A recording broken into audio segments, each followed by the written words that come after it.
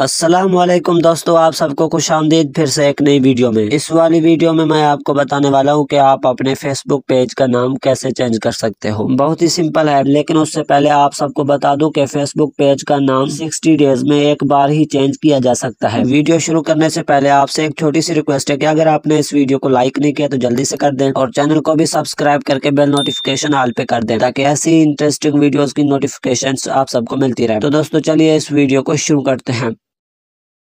तो दोस्तों, इसके लिए आपको क्या करना है कि सबसे पहले ऑफिशियल ऐप फेसबुक पे चले जाना है और उसके बाद आपको राइट साइड से थ्री डॉट पर क्लिक करना है। और अगर आपने अपना प्रोफ़ाइल चेंज नहीं किया है फेसबुक अकाउंट से फेसबुक पेज में तो यहाँ से आपने कर लेना है और फिर से आपने थ्री डॉट पर क्लिक करना है। तो यहाँ पर आपको सेटिंग्स का आइकन दिख जाता है, इस पर आपने क्लिक करना है और दोस्तों, उसके बाद सबसे ऊपर आपको दिख जाता है पेज सेटिंग्स इस पर आपने क्लिक कर देना है और यहाँ पर आपको सबसे ऊपर नेम का ऑप्शन मिल जाता है, इस पर आपने क्लिक कर देना है। और दोस्तों, जैसे ही आप क्लिक करेंगे, यहाँ पर आपके आपके पेज का नाम आ जाएगा। और दोस्तों, यहाँ पर आपने अपने पेज का नाम क्लियर कर देना है और नया नाम आपने टाइप करना है और रिव्यू चेंज पर क्लिक कर देना है। तो दोस्तों, आपके फेसबुक पेज का नाम चेंज हो जाएगा। तो दोस्तों, यही थी हमारी आज की वीडियो। उम्मीद है आपको पसंद आई होगी। हम मिलते हैं अगले इंटरेस्टिंग नेक्स्ट वीडियो में।